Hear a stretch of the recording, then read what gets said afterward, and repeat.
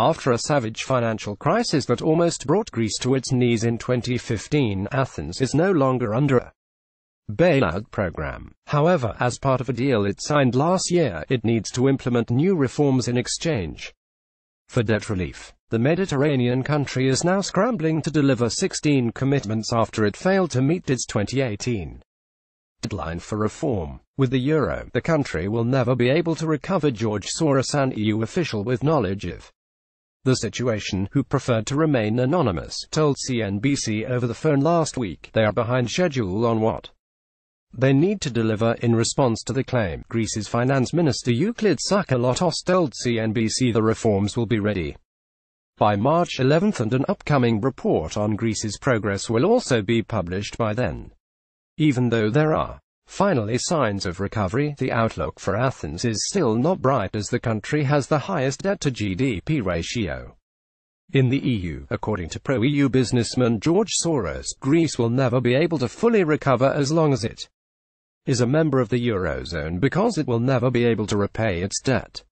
In a 2016 interview with Wirtschaftswoche magazine, Mr. Soros criticized the austerity policies imposed on Greece by Germany after the financial crisis broke out.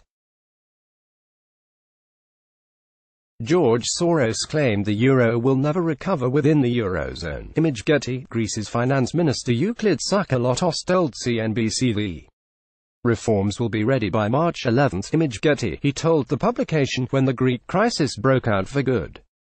In 2009, the EU, under the leadership of Germany, gave a helping hand but Greece had to pay a high price. The country was asked to pay excessively high interest rates making it impossible to serve the Greek debt. Unfortunately, the Germans repeated the mistake during the last negotiations. Again, they imposed conditions that brought Greece closer to bankruptcy. Greece will never be able to pay its debt. Prime Minister of Greece Alex Tsipras and German Chancellor Angela Merkel, image Getty, Mr. Soros became known as the man who broke the Bank of England after he bet against the pound, image Getty, when asked if Greece is a good place for private investment, Mr. Soros firmly answered, not as long as Greece is a member of the Eurozone. With the euro, the country will never be able to recover, because the exchange rate is too high and the country is not competitive. The Hungarian-born currency speculator, now a U.S. citizen, has often attacked Germany and its Chancellor Angela Merkel.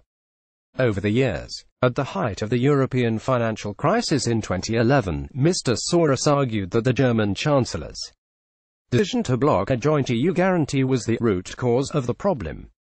He also suggested that Berlin benefited from the euro crisis, as it depressed the exchange rate and boosted its competitiveness further, Mr. Soros became known as the man who broke the Bank of England after he bet against the pound in 1992, forcing Britain out of the European exchange rate mechanism.